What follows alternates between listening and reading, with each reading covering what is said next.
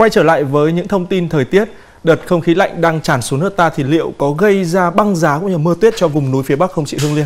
Vâng, băng giá và mưa tuyết thì có khả năng xuất hiện ở các đỉnh núi cao của vùng núi Bắc Bộ và Bắc Trung Bộ.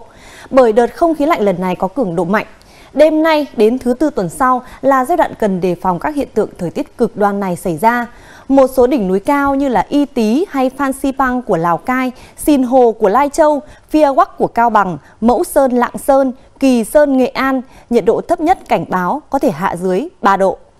Với mức này, băng giá và sương muối vẫn có khả năng hình thành. Các nơi khác của Bắc Bộ, khu vực Thanh Hóa tới Hà Tĩnh sẽ bước vào đợt rét đậm rét hại diện rộng từ đêm nay đến thứ tư tuần sau. Dự báo nhiệt độ thấp nhất phổ biến ở vùng núi Bắc Bộ là từ 6 đến 9 độ, khu vực còn lại của Bắc Bộ là 9 đến 12 độ, Thanh Hóa tới Hà Tĩnh khoảng 11 đến 14 độ. Vâng ạ, Bắc Bộ, Bắc Trung Bộ thì rét đậm, rét hại ở diện rộng. Vậy còn à, những vùng khác của cả nước thì à, không khí lạnh sẽ ảnh hưởng như thế nào?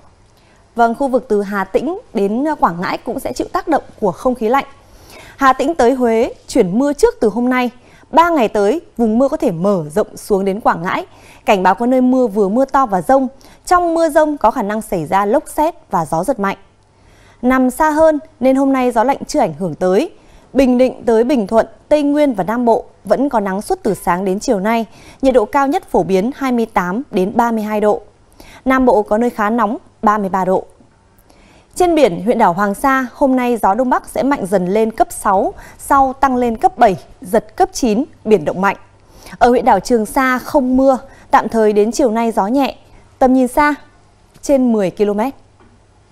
Vâng, xin được cảm ơn chị Liên với à, những thông tin dự báo thời tiết vừa rồi đã giúp chúng ta có được à, thông tin về à, thời tiết để lên kế hoạch tốt hơn cho các hoạt động ngoài trời trong thời điểm vài ngày nữa là bước sang một năm mới quý mão rồi.